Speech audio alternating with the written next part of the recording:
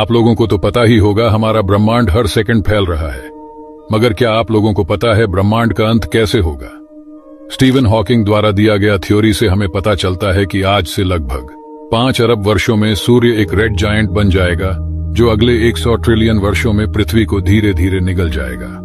और लगभग 500 ट्रिलियन वर्षों बाद कोई और तारे पैदा नहीं होंगे, और सभी मौजूदा तारे वक्त के साथ साथ मर जाएँगे।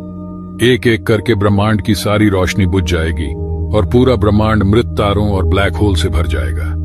सारे ब्लैक होल अंततः मृत तारों को निगल जाएँगे और समय के साथ कुछ भी नहीं बचेगा। और वे प्रोटॉन जिनसे आप और मैं बने हैं, वे ग्रह तारे हर एक चीज़, वे प्रोटोनस एक भौतिक शून्य में समा जाएगा। और सारे ब्लैक होल एक दूसरे के साथ कोलाइड होते हुए हॉकिंग रेडिएशन के प्रभाव से शून्य में खो जाएगा।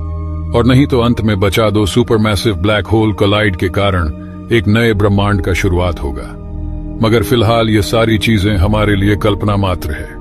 और आप लोगों को ऐसे रहस्यमयी चीज़ों के बारे में जानने में दिलचस्पी है तो एस्ट्रोवर्स तथा एस्ट्रो साइंस के साथ जुड़े रहिए।